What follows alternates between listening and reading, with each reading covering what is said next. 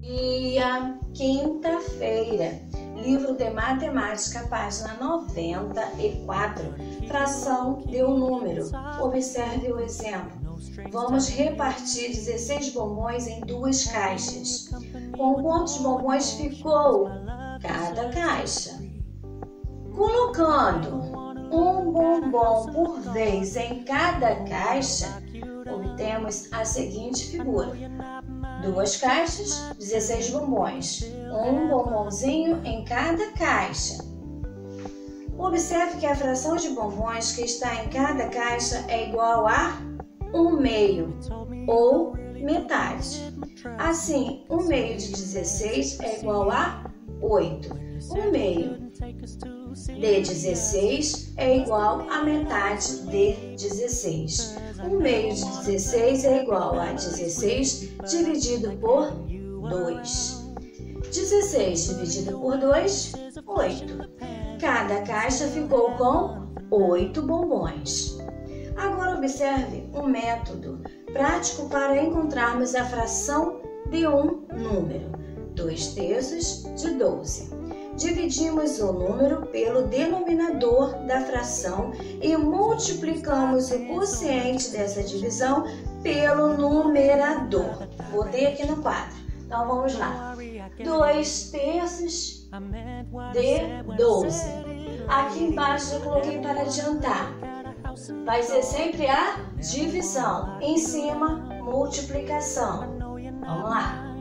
Embaixo, denominador, divisão. Numerador, multiplicação.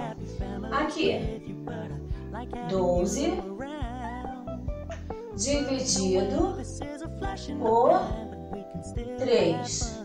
12 dividido por 3, vamos, vamos, acertou, 4.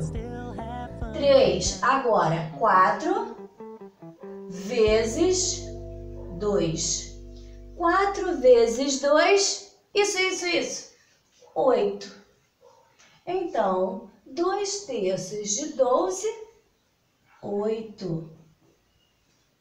Certo? Hum. Agora, 3 quintos de 40. Denominador, divisão. Numerador, multiplicação. Então, eu vou colocar 40, ó, 40 dividido por 5. 40 dividido por 5. Ei, você aí acertou, muito bem. 8. Hum, agora, a multiplicação. 8 vezes 3. 3 vezes 8 vinte e quatro. Três quintos de quarenta, vinte e quatro. Certinho? Hum, tá estudando a tabuada?